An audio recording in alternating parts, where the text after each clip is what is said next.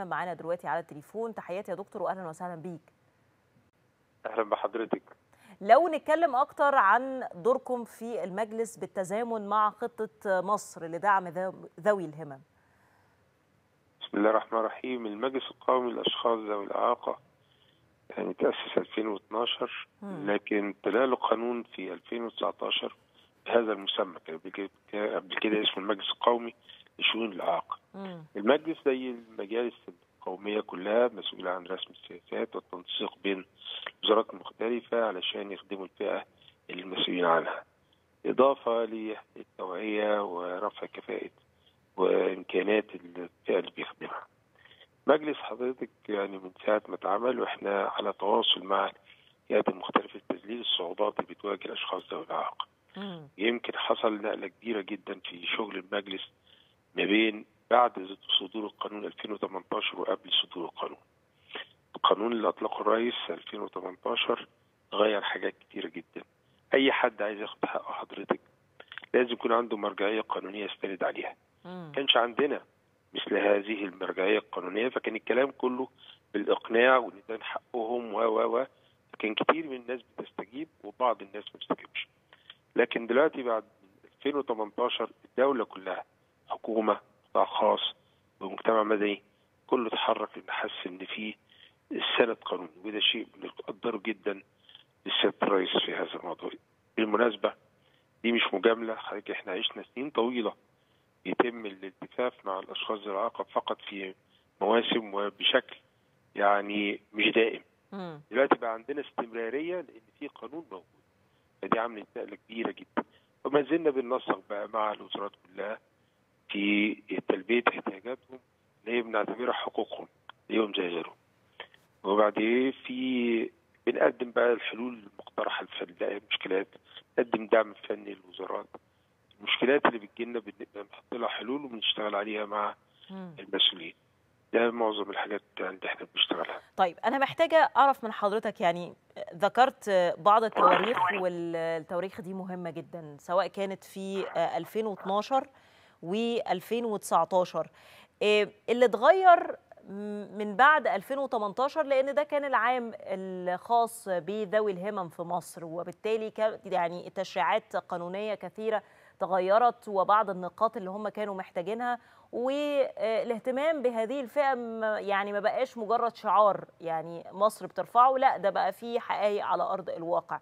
إيه أبرز المتغيرات القانونية والدستورية اللي كانوا فعلا محتاجينها الفئة العظيمة دي في مصر ولقوها من خلال هذه الأعوام؟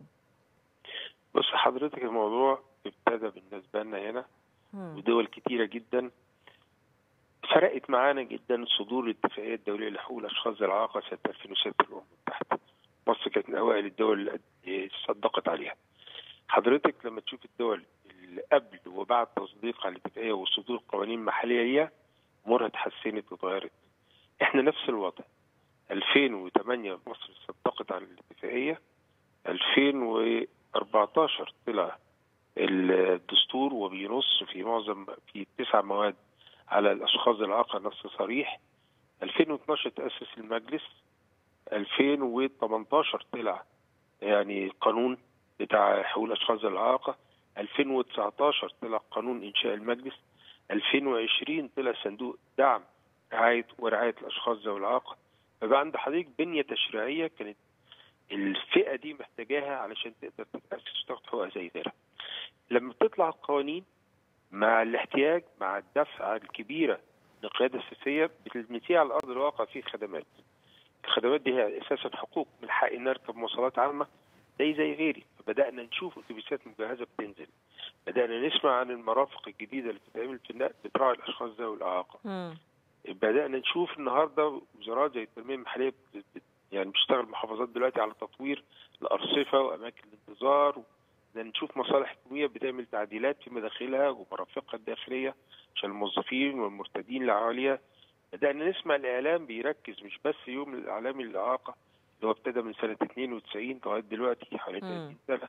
لا بدأنا نشوف برامج وبدانا نشوف تغطية الانشطه مختلفة مسابقات ثقافية وفنية يشترك فيها أولادنا. كانش مسموح مش مسموح كانش مرئي بهذا الشكل قبل كده.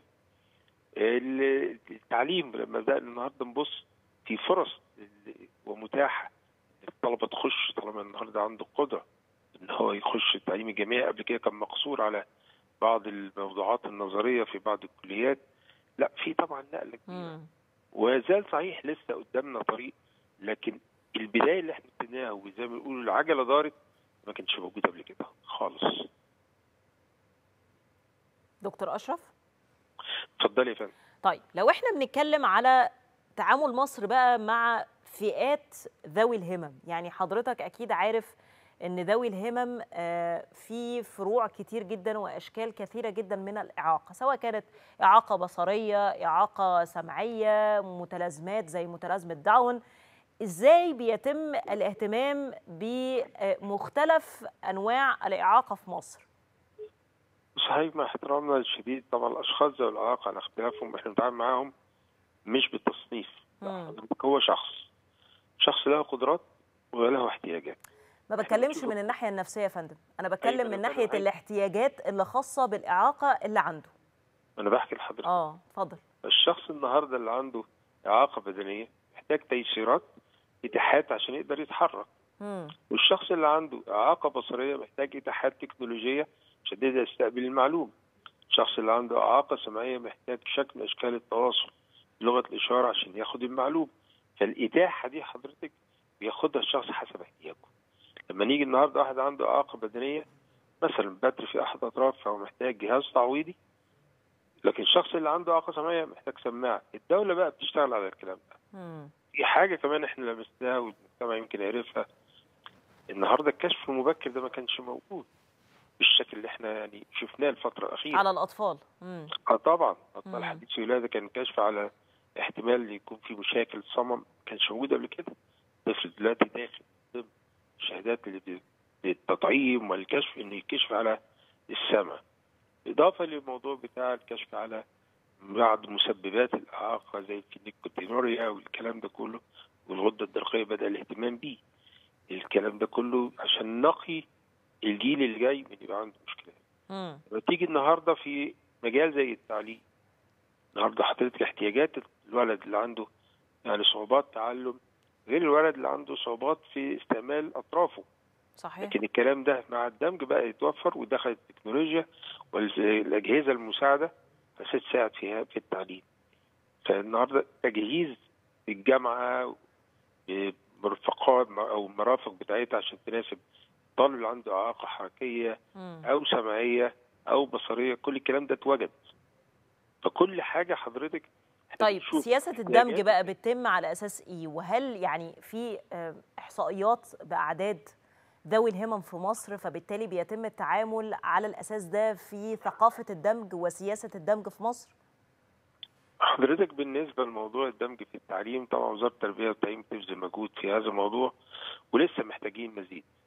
في الجامعات حضرتك يعني بحكم الموضوع يعني اشتغلنا عن قرب مع وزارة التعليم العالي تم إيفاد ممثلين من خمس جامعات مصرية هي أسيوط والقاهرة وعين شمس والمنصورة وإسكندرية إلى الولايات المتحدة في مشروع على أساس يشوفوا السنترز اللي بتخدم الطلاب زي الأقف في الجامعات بتتعمل إزاي. ورجعوا تأسيس خمس يعني آه مراكز. الخمسة دول بالشكل الجديد اللي إحنا كنا نأمل بيه. لكن في جامعات بادية من سنين طويلة حاطة مراكز وعاملة مراكز لدمج الطلاب ذوي الإعاقة في الجوانب الأكاديمية والأنشطة مش بس academics بس. الكلام ده هيبتدي ينتشر أنا متأكد الفترة الجاية. فدي الطالب بيتشاف إيه احتياجاته والجامعة تبتدي توفر له اللي يقدر يساعده على الدراسة. الشخص اللي عنده إعاقة بصرية بيتوفر له المناهج ويتوفر له مساعد ال admission والكلام ده كله الحاجات كلها صوتية كمبيوترايز الشخص اللي أو الطالب اللي عنده إعاقة بدنية يعني مثلا على مثال أنا كنت قريب منه جامعة حلوان مم.